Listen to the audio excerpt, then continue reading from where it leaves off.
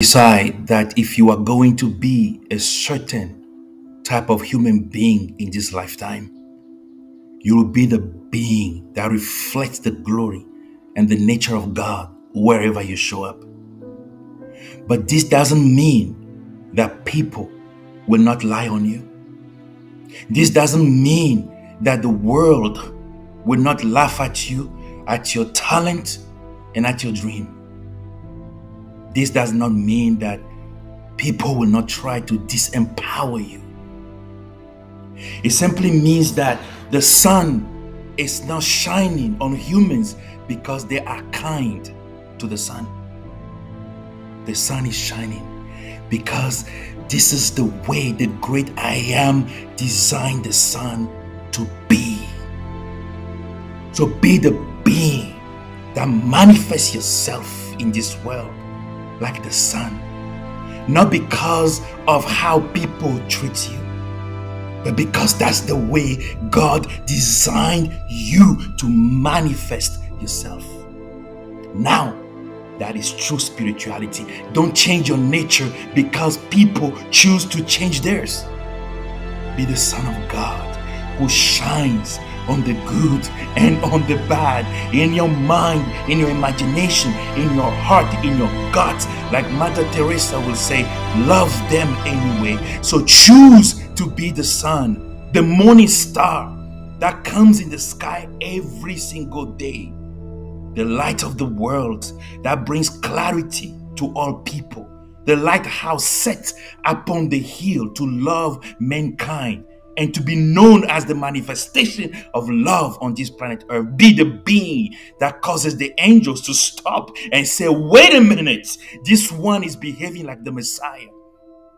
So decide to be the being that manifests the glory of God on earth in a form of unconditional love in your mind, your imagination, your heart, and your guts decide to be the being that loves them so much in your mind, heart, and gut that in the psychic dimension, your imaginal act of love telepathically begins to set them free from the energy of hate and envy that is holding them in captivity. Listen, be the being that knows how to speak life into your mind. Speak life into your heart. Speak life into your gut. Speak life into your body. Be the being who wakes up every day to cast the spell of healing on this world, to break the curse of hate and resentment that is holding many people in low vibration of sickness and disease. Be the being that is a vessel of the kingdom of heaven on planet earth. Don't be afraid to show up and to appear because the light that has designed you, has designed you to show up in the darkness. And there is no greater light than the nature of love that is within you, that you are. Let no one change who you are designed to be. Show up and remember the part of you that is not afraid to be seen is the one that gets to see the magic in the end. Remember that who you are is different from what you are. Yes, your body may still hold imperfections in your neural pathways, but you are not your body. What you are is the accumulation of personalities born out of your life experiences. And even that hold imperfections. But who you are existed before your body and before what you are as personalities. You are the manifestation of love. You are the image and the likeness of love.